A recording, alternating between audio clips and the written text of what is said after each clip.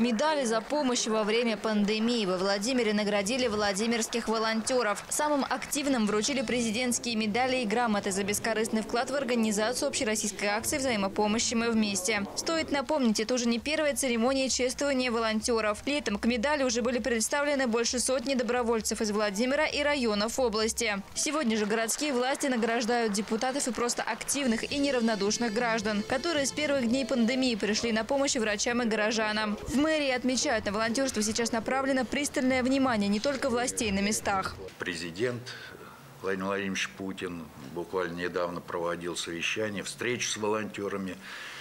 Э, Волонтеры рассказывали, как, какие добрые дела делаются э, в России э, для того, чтобы облегчить,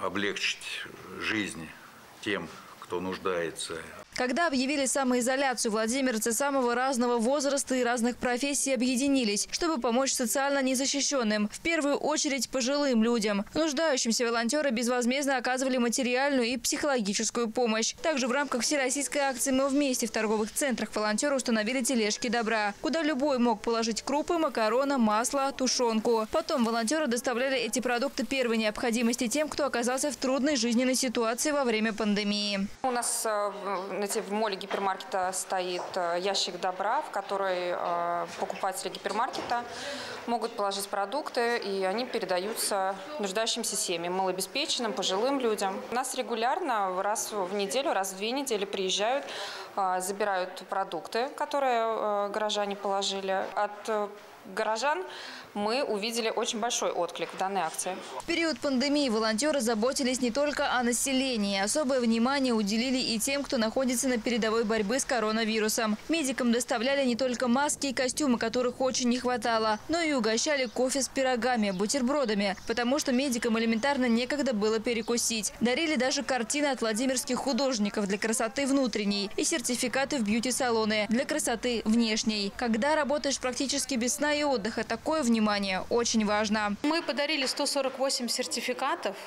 и, соответственно, в разные салоны, участвовало 18 салонов, где-то пришло, наверное, больше половины.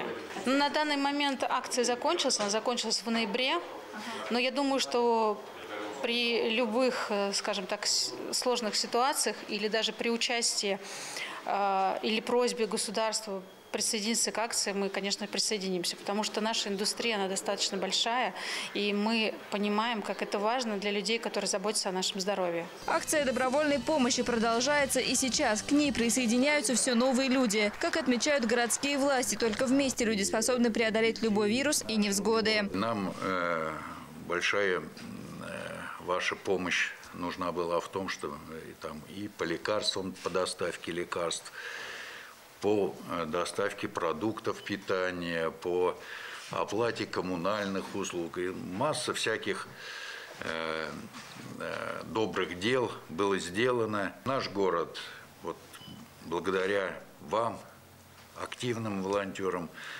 очень э, успешно справляется э, с этой задачей. Екатерина Филиппова, Александр Мажаров. Шестой канал.